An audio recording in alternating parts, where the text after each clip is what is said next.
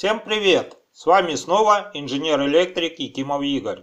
Как я и обещал, в этом видео я рассмотрю нестандартную схему подключения проходных выключателей. Первый раз я ее встретил в одном коттедже, куда меня вызвали.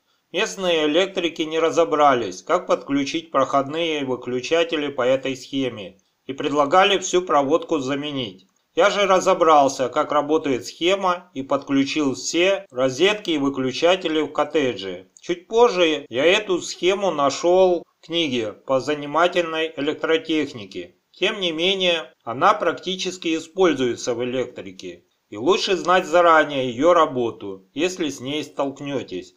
В этом видео я разберу, как работает данная схема и для чего ее лучше применять. Само же практическое применение я разберу в следующих роликах. Подпишитесь на канал и нажмите колокольчик, чтобы эти видео не пропустить. На слайде вы видите эту схему подключения проходных выключателей. Особенность этой схемы в том, что фаза и ноль подключены к боковым контактам проходных выключателей, а к средним контактам подключена сама лампа. В данном случае на оба контакта лампы подается 0. Так как тока от цепи нет, лампа не горит. Переключим первый проходной выключатель. Через него на лампу подается фаза. Другой контакт лампы подключен к нулю через второй проходной выключатель. Ток проходит по цепи. Фаза – первый проходной выключатель, лампа – второй проходной выключатель, нулевой провод. Лампа загорается. Переключим второй проходной выключатель. Теперь на оба контакта лампы поступает фаза. Разности потенциалов нет и лампа не горит. Опять переключим первый проходной выключатель. Теперь ток идет по цепи. Фаза, второй проходной выключатель, лампа, первый проходной выключатель, нулевой провод. Лампа загорается. Если рассказать проще, если на один контакт лампы подана фаза, а на другой 0, лампа загорается. Если на оба контакта лампы поданы или фаза, или 0, то лампа не горит. Предупреждаю, если у вас в светильнике используются лампы с винтовой резьбой, то использование этой схемы противоречит статье 6610 ПУЭ, так как фаза может подаваться на резьбовой контакт лампы. Эта статья написана, чтобы обезопасить замену ламп под напряжением.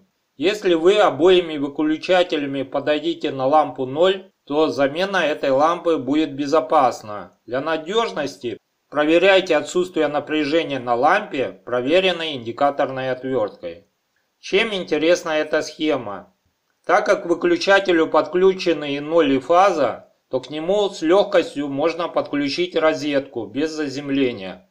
Также к стандартной розетке можно подключить проходной выключатель, используя заземляющий провод как средний провод от выключателя. То есть можно добавить к существующей проводке дополнительные розетки и выключатели, без штрабления стен. Достаточно сделать перекоммутацию коробки. Как это сделать, я расскажу в следующем ролике. Подпишитесь на канал и нажмите колокольчик, чтобы эти видео не пропустить. Также эту схему лучше знать на случай, если с ней столкнетесь при ремонте электропроводки. Тогда у вас не будет вопросов, почему на проходной выключатель подается чистая нолифаза. Вы с легкостью разберетесь в проводке и сделаете ее ремонт. Как я и говорил, я продолжу эту тему в следующих роликах. Свои вопросы задавайте в комментариях. Может кто сталкивался с такой схемой на практике. Буду благодарен за ваш опыт. Поддержите канал лайком и до встречи в новых видео.